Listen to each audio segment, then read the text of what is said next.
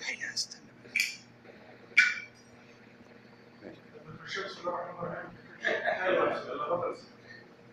الله خير الأسماء. بسم الله رب الأرض والسماء. بسم الله الذي لا يضر مع اسمه سم ولا داء بسم الله الرحمن الرحيم. الحمد لله والصلاة والسلام على رسول الله وعلى آله وصحبه ومن والاه. وبعد. الجمع الكريم. السلام عليكم جميعا ورحمة الله وبركاته.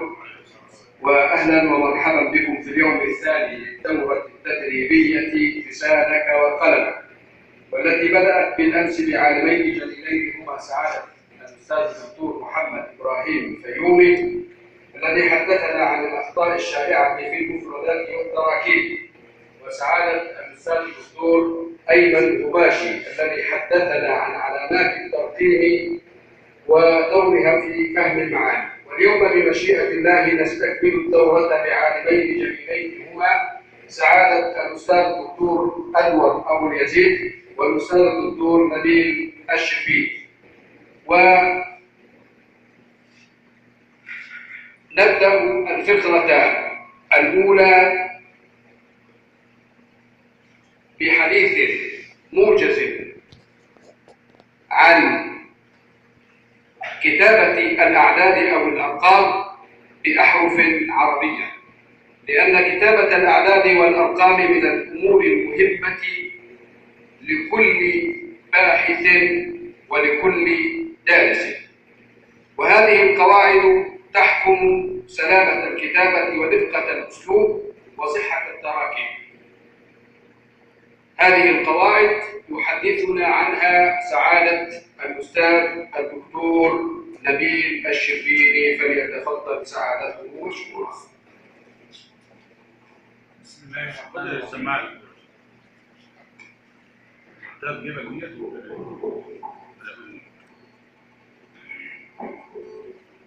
بسم الله الرحمن الرحيم. وبه نستعين. والصلاة والسلام على أشرف المرسلين سيدنا محمد النبي الأمي الهادي الأمين وعلى آله وصحبه أجمعين وبعد. ففي البداية أتقدم بخالص شكري وتقديري إليكم جميعا ومما يسعدني أن أتحدث إلى حضراتكم اليوم عن موضوع من الأهمية بمكان لا يستغنى عنه بحال من الأحوال ألا وهو العدل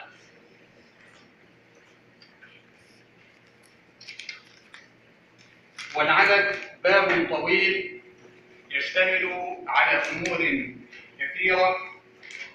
من أهم هذه الأمور الأول أنواع العدد لابد في البداية أن نعرف أنواع العدد حتى نستطيع أن نعرف كل حكم يتصل بهذا النوع من العدد بعد ذلك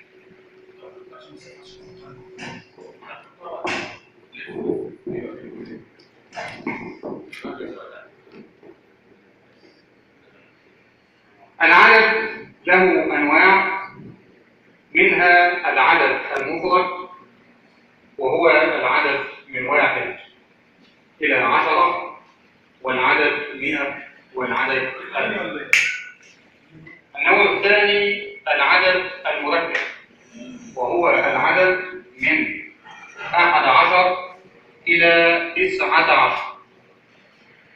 النوع الثالث هو ألفاظ العقود وهي عشرون وثلاثون وأربعون إلى تسعين. النوع الرابع والأخير وهو العدد المعطوف.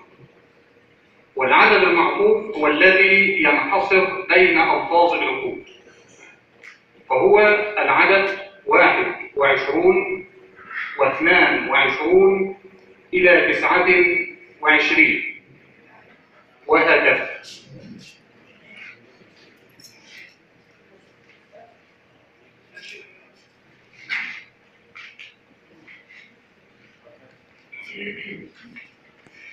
الثاني من الأمور التي يجب أن نقف عليها في باب العدد. هو الحديث عن تذكير العدد وتأنيثه. كثير من الناس يخطئون في تذكير العدد وتأنيثه عند إسناده إلى التمييز لكن الأمر ليس عشوائيا وإنما له ضوابط وقواعد وضعها. النحويون يجب أن نسير عليها حتى لا نقع في الخطأ واللهو العددان واحد واثنان يذكران مع المذكر ويؤنثان مع المؤنث. فنقول جاء رجل واحد. وجاء رجلان اثنان. رجل مذكر فأتينا بلفظ المذكر واحد. وكذلك لفظ رجلان مذكر فأتينا بلفظ اثنان مؤنث. ونقول وأتينا بلفظ اثنان مذكر. إذا قلت جاء رجلان اثنان فقد راعينا التذكير بين لفظ رجلان ولفظ اثنان ونقول أيضا وصلت امرأة واحدة بالتأنيث ووصلت امرأتان اثنتان أيضا بالتأنيث العدد واحد واثنان من الألفاظ التي توافق المعدود في التذكير والتأنيث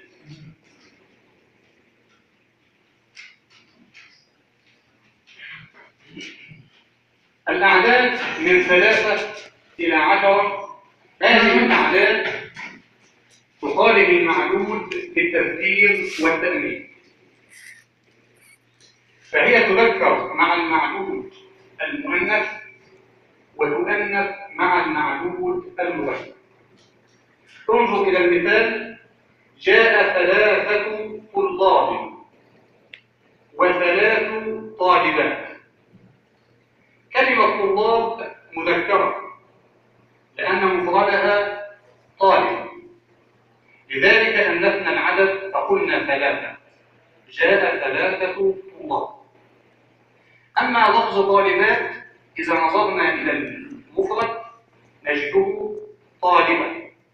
طالبة مؤنثة لذلك ذكرنا العدد فقلنا ثلاث طالبات هناك عله للتسليم مع المؤنث يعني طب ليه مثلا بلاش مؤنث مع مؤنث مذكر؟ هل هناك عله للعرب القديمه مثلا موجوده مخالفة ليه؟ لا لم توضع يعني حتى علمي لم نجد علة معينة لعكس المخالفة هو ابن مالك ذكرها ثلاثة بالتالي كل العشرة في عد ما أحدهم مذكرة في الضد جرد والمميز جرود جمع يعني مخالفة طب ليه؟ من ليه الخدم. المخالفه ليه؟ ليه مش الأولى الموافقه الموافقة بين المذكر والمؤنث؟ هكذا ورد عن العرب ليه؟ سماع سماع هي هي اللغة في العرب موضوع آه، السماع. قواعد وضعت مراعاة للسماع أيوة. إذا وجدت علة تذكر العلة وإذا لم توجد علة لا العلة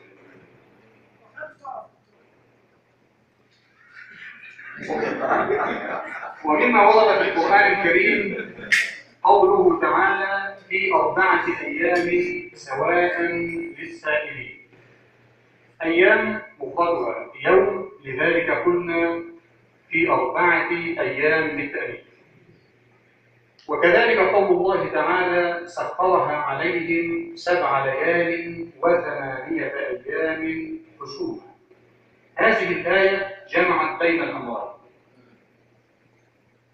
فقوله سبع ليال مفرد ليال ليلة.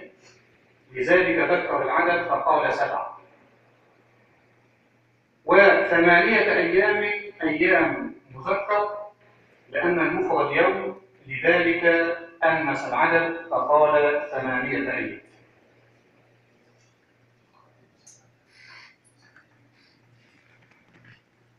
كما بدا من الكلام أن مواد التذكير والتأليس في المعدود إنما يكون من حيث المفرد لا من حيث الجمع فقد تجد كلمة ظاهرها الجمع ومع ذلك يأتي ظاهرها ظاهرها جمع المؤنث ومع ذلك يأتي العدد مؤنث.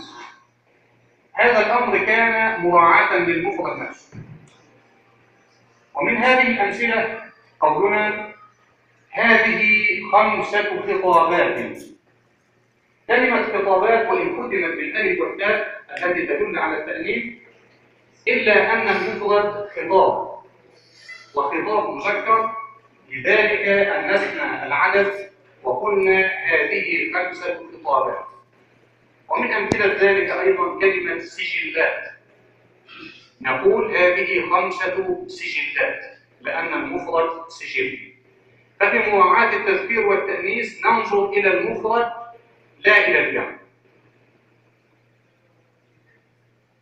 وممكن يكون المفرد مذكر وجمع مؤنث مثل كلمة خطاب هذه كلمة غير عاقل فقد تجمع بالالف والتاء فنقول خطابات وسجل سجلات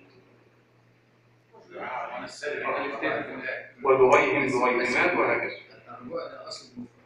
ترجع إلى أصل المفرد. لا تنظر إلى الجمع وإنما تنظر إلى رجل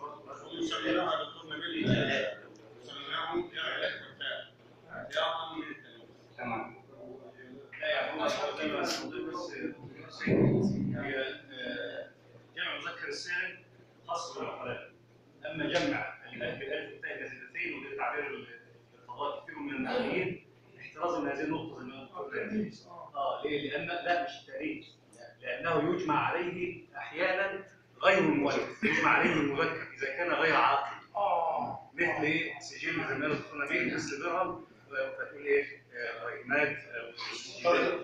بس احترازا من ذلك لا ارجع اذا زاد عن عدد إذا زاد عن عدد معين عن عدد معين. لكن لكن الفكرة إنه غير عاقل مذكر غير عاقل رجل الرجالات إيه؟ لا دي جمع تكسير عارف وتابع جمع تكسير جمع تكسير جمع الجمع جمع الرجال الرجال ول- وليس جمع منسب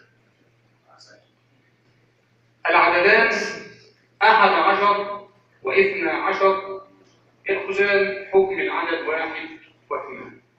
فيذكران أيضا مع المذكر ويؤنثان مع المؤنث.